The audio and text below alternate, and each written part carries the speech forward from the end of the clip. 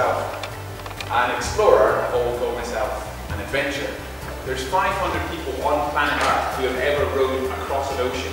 350 of them are British. For whatever reason, we're good at this adventure stuff. And I'm pretty sure there's some future adventures in the room. For a small island, Great Britain, we are good at these big adventures, exploring the world, finding new places, pushing ourselves. Fantastic as a professional cyclist to turn up and see so many bikes lined up by the side. That's a top effort from those who manage to scoot their way or cycle their way to school.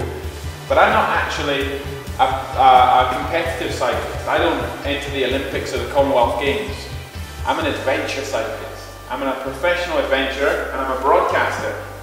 That means over the last 10 years since I left education, I've gone on lots of adventures around the world. I've been to 130 countries in the last 10 years.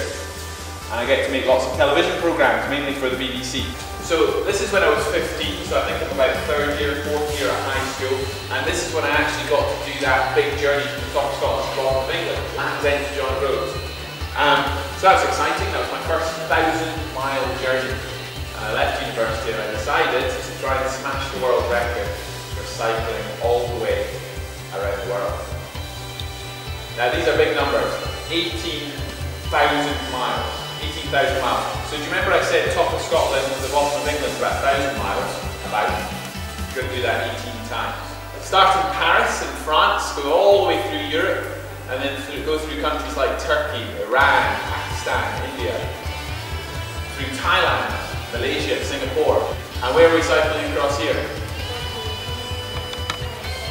America? America. So from California across to Florida, and then these countries here, the final thousand miles. Anyone know where we are here? Spain. Spain. What's the one to the left of Spain? Portugal. So Portugal, Spain, and back to France. That is an 18,000 mile race. Now, do we all agree on that scale of the map it doesn't look too tough at all? We're all up for this. Can you imagine going around the world, spending half a year with this big dream, and then you finish big police escort, your you know, massive press coverage, all your friends and family have come to be there to finish. It was very exciting, really, really exciting. It was everything I dreamt would it's absolutely fantastic to see the tour series coming back to Motherwell. The roads around here, and uh, I'm certainly hoping it'll be a day just like today. Such massive interest in cycling, and the 17th of May is shaping up to be such an exciting event. Uh, we've got the amateurs out in the afternoon, some of the local school kids are going to get a chance to ride the route and then see the pros going head to head in the evening. So I'd encourage everyone to come out and, uh, and be a part of it. It's going to be a wonderful day of celebration of bike racing.